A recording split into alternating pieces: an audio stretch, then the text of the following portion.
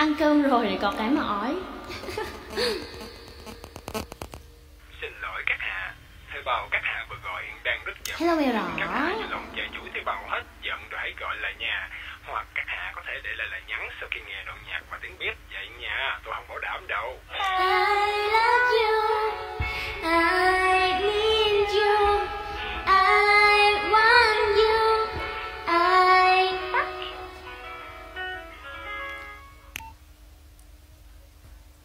My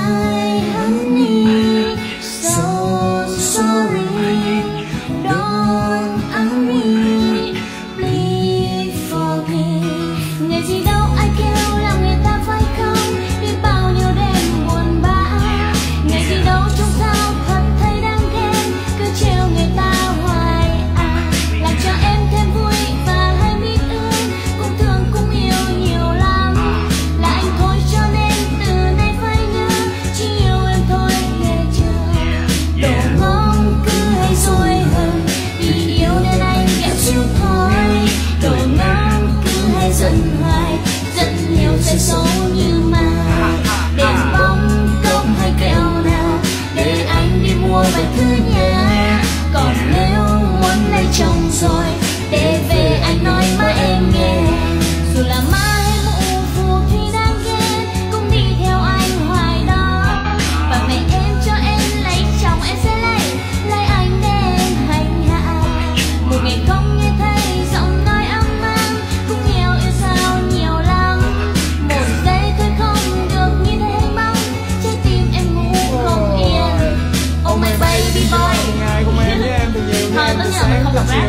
qua đường gian người nhắn tin và to đến thức người. sáng hôm nay rồi buồn ngủ quên mà khi thức dậy Hello gần sắp tới trưa bầu trời dù nhẹ không nắng như mây và nó cũng gần sắp chuyển mưa. Không biết giờ này suy nghĩ ra sao em có hiểu ý anh chưa? Nếu em chấp nhận đề nghị của anh để anh được bao ngày đón đưa. Nếu em đồng ý mang chiều cao qua thương xin ông bạn của em bằng em về ba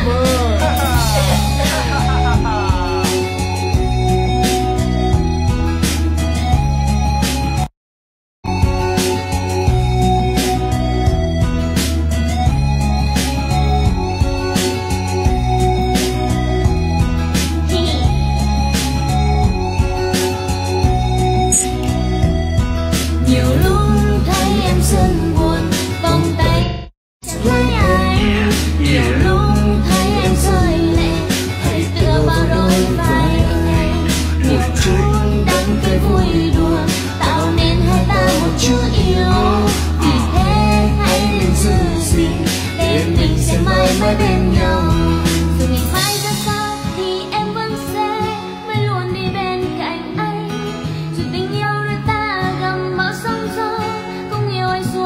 Cuộc đời. Dù ngày sau khi mỗi buổi sáng thức giấc, Có anh hôn lên bờ môi. Và thời gian trôi qua, dần hết chín tháng, Có baby sẽ chào đời.